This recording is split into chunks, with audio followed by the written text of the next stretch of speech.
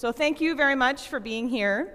My name is Kendra Moan, and I'm a PhD candidate at, at Brite Divinity School in New Testament, working on a dissertation.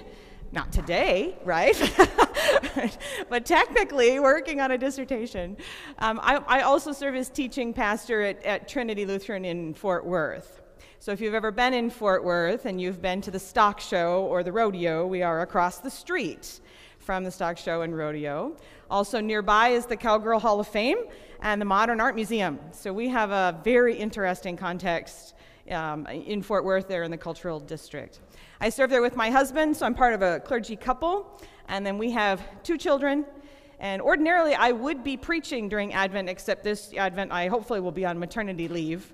Um, baby's coming just before Thanksgiving. So uh, it's a busy time of the year for everybody, and I, I hope what, what this provides you is a day to think, set aside some time, reflect on how you might approach these texts.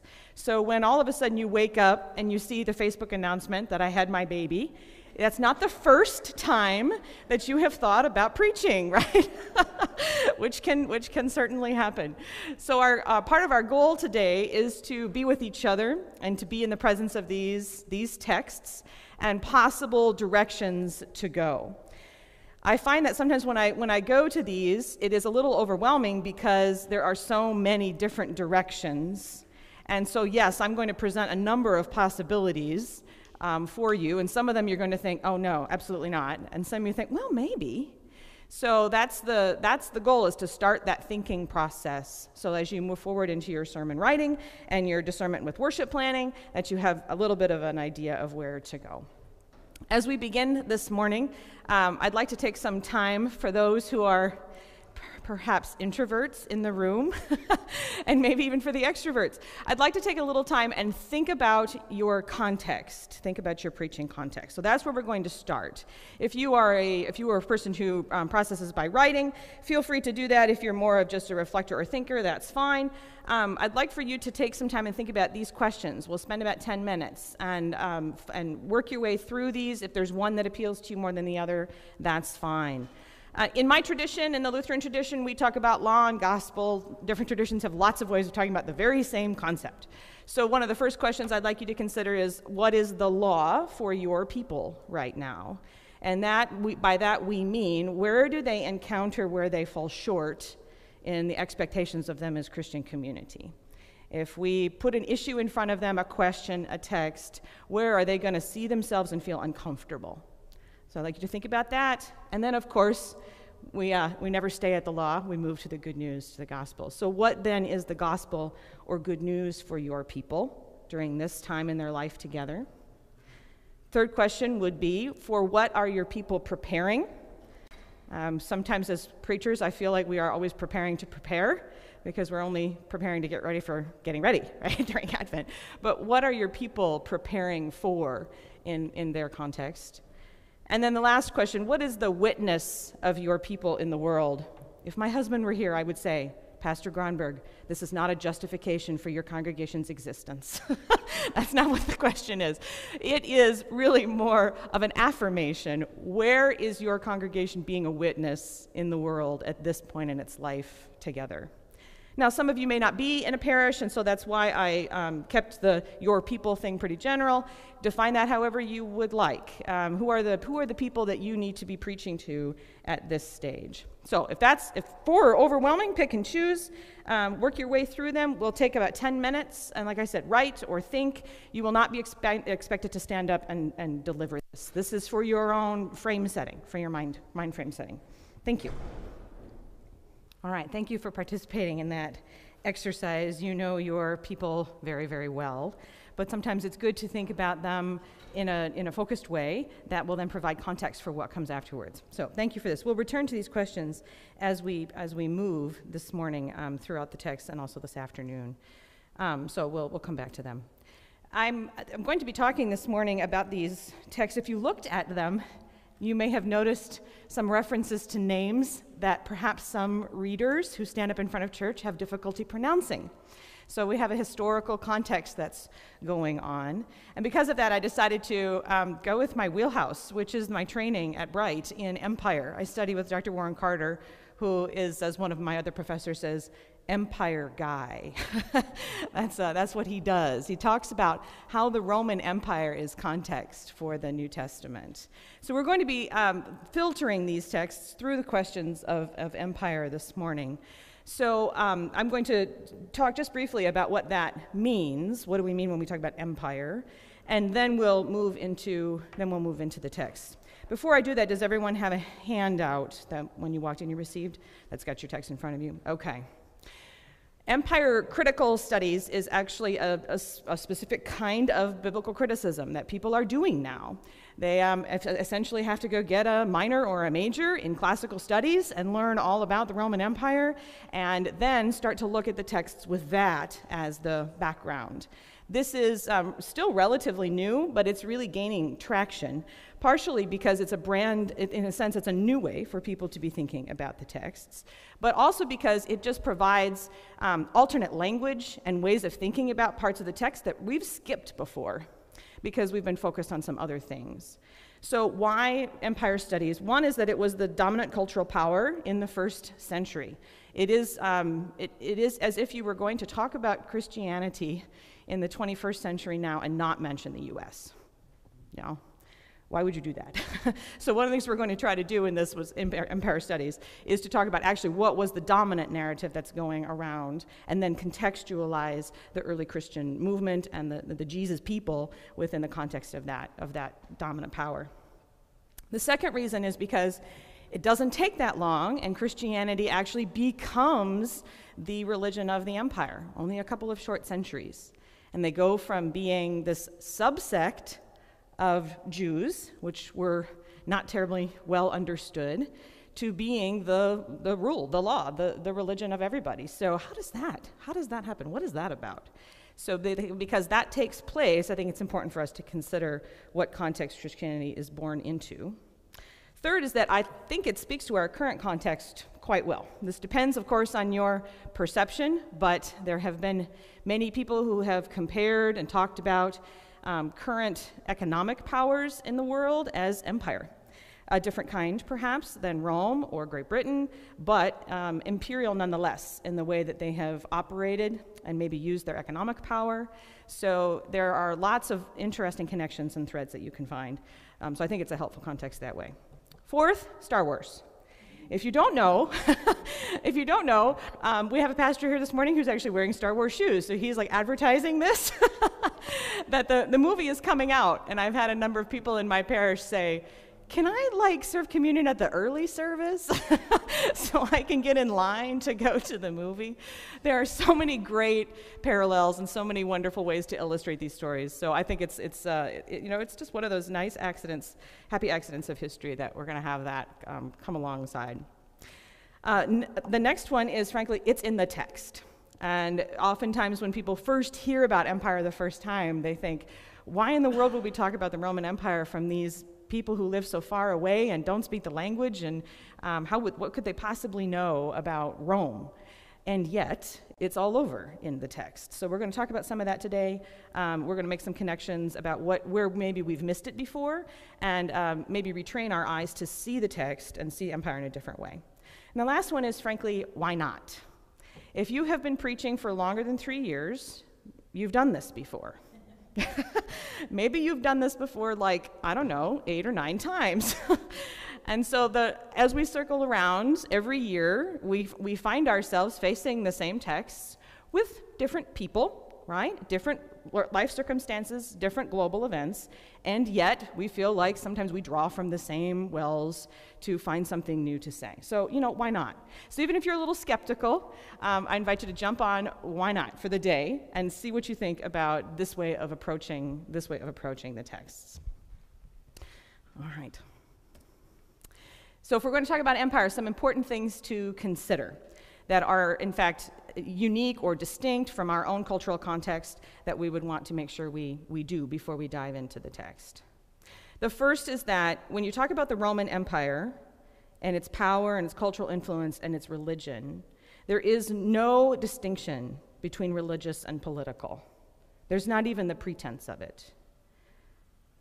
We live in a, in a cultural context that's quite different, a political context where at least the attempt is made to separate church and state, if not religion and politics, and that people have different views about how that should happen. That was not even a conversation in the first century. So those who are in power gain power and hold power partially by the way they express religion. And then that, that, that feeds each other back and forth. So that's important. Sometimes we can, we can read the first century texts and try to overly spiritualize them in a way that isn't necessarily true to the context, the way that it would have been. Sometimes it's more comfortable for us in the 21st century to do so because we like to keep things separate. But if we're going to actually live in the world of the text for a while, they didn't do that. It wasn't, it wasn't important for them. Uh, it wasn't even really a question that they were having. Second, when you talk about the Roman Empire, there's two distinct ways to think about how it exerts its power. One, when we talk about Roman Empire, is in fact the concept of right to rule, the very force of power that comes from the emperor is that is the Roman Empire, and that is divinely sanctioned. They go to great lengths to explain why it is that they are divinely sanctioned the right to rule in the world. So sometimes when we talk about the Roman Empire, we're talking about that force of power. And I go like this on purpose. We are going from the top down, and we are going from one man, always a man, out, and out and down. And as you go down, then it gets bigger and bigger and bigger. The largest classes are at the bottom. So this is a very specific kind of right to rule that is assumed. Secondly, then we also have, um, in addition to the right to rule concept, we have the actual land, the area. So the reach of the Roman Empire, how far it extends. I'll show you a map in a few minutes if you don't have one memorized.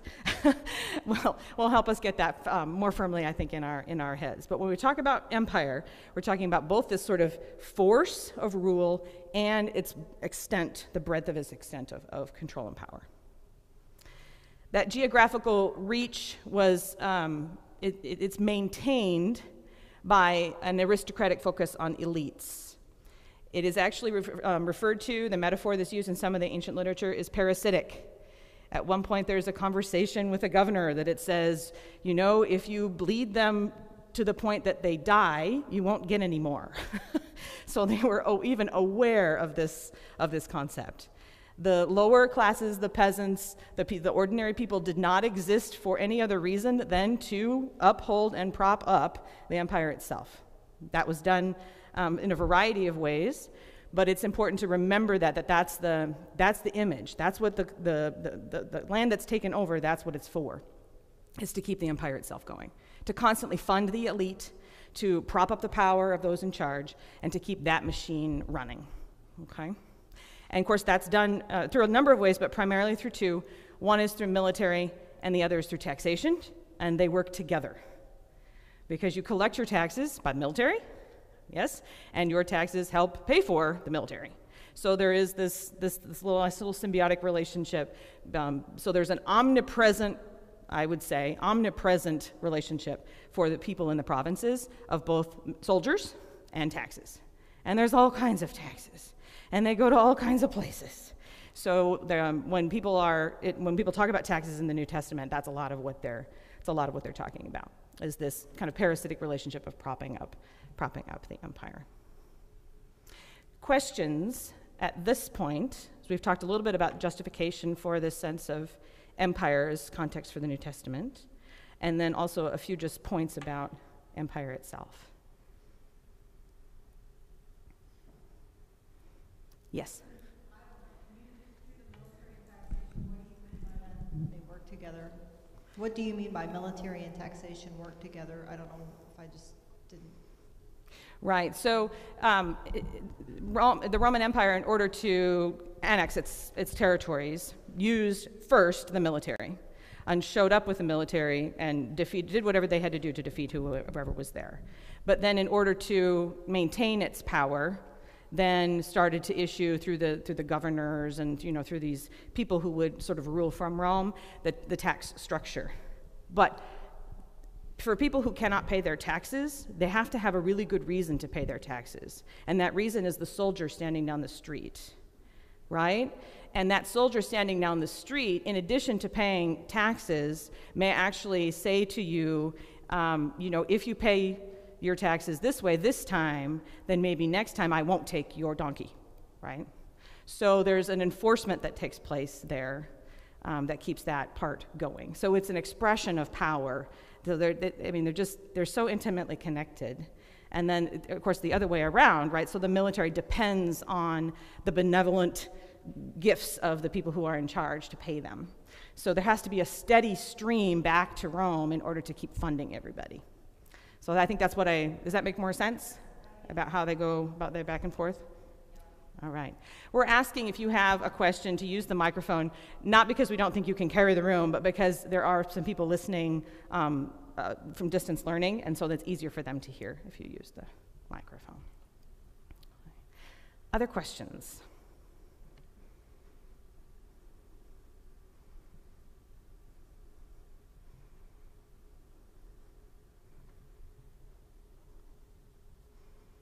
My pedagogical training says wait. 45 seconds. I don't know if I have a question, but I'm taken, just reminded at least, between the religious and the political mm-hmm. lack of distinction. And I think I, if it's a confession, if we're confessing or a, a question in here somewhere, that I think I've always looked at the Jewish uh, leaders in the synagogue, the temple rulers, etc., being separate from the mm-hmm. political uh, realm, and namely kind of around the crucifixion when we say it's not ours, it's yours, and one right. washes the hand of the other and sends it over.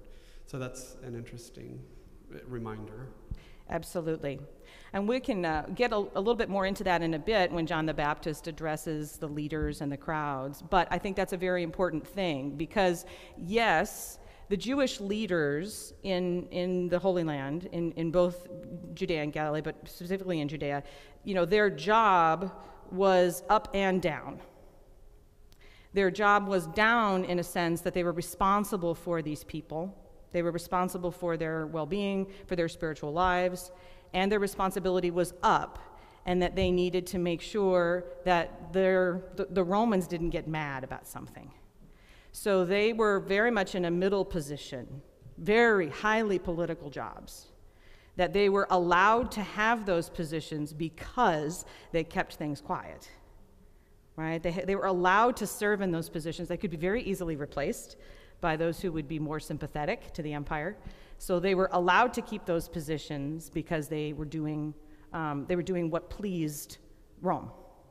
And it's important to keep that in mind. So, embodied in the Jewish leadership, you have this tension the up and down tension, the above and below. Um, yeah, so sometimes we keep those more separate than, than they really would have been. So, yeah, that's, a, that's definitely an important distinction to make. I'm not only waiting for December 18th eagerly, but yes, I also watch TV. Um, the AD TV series has its weaknesses, but it really tries to deal exactly with that. I think it's a real way to good way to popularize in people's views if they watch that TV series mm-hmm. to see how the chief priest is really dealing with the Romans as well as the people, and and you see that more clearly than perhaps we tell at Christmas with the pretty story. You know. Right, right. I don't think our focus on, on Judaism and its, um, and its traditions and its presence in the scripture has been misplaced at all. I think that is incredibly important. It's foundational. There's no way around it. But I, when, as a kid, you know, I grew up and I read these texts and I heard preaching and then I saw movies and I was like, what's that soldier guy doing there? like, I, this never made sense to me. You know, you would watch these, watch these things. And there were all these, there were these little moments that would jump out and I'd be like, who's that guy? Why don't we talk about that guy? So I think it's putting those pieces together as part of what this Empire Studies is trying to do um, keeping those in, in conversation with each other. So look up the AD series because it sounds like that's a, a good way to sort of visualize and get in your own head the way that these, the way that these fit.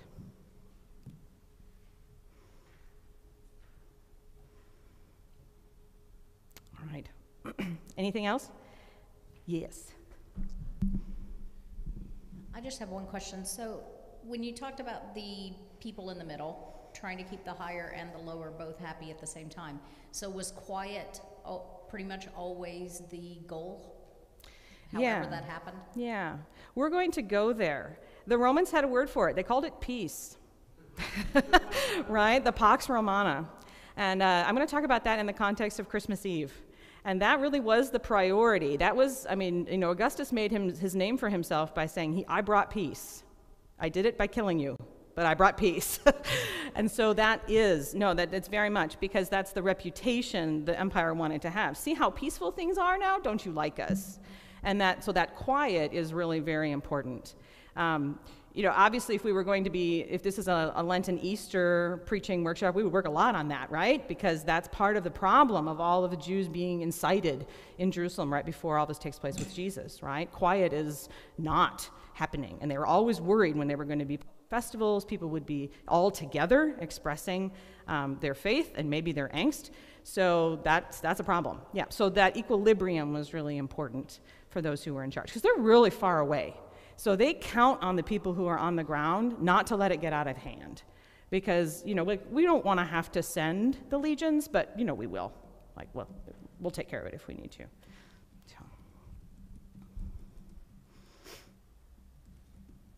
Right, see, it's a good thing I waited 90 seconds, right? Excellent questions. Thank you very much.